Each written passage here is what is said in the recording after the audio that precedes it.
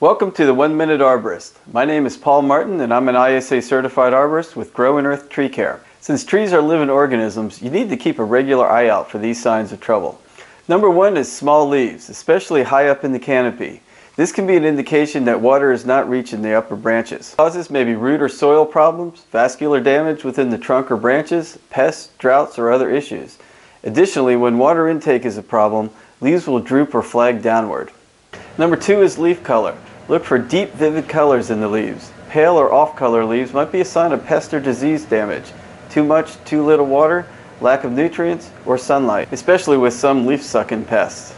Number three is girdling or circling roots, which can eventually choke off the tree's vascular system, cutting off the necessary water and nutrients to the canopy.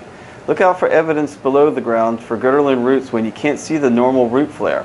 The tree should not go straight into the ground like a telephone pole. Depending on the size of the girdling root, pruning may be an option. Girdling roots are often the result of improper planting. Thanks for watching the One Minute Arborist brought to you by Grow in Earth Tree Care.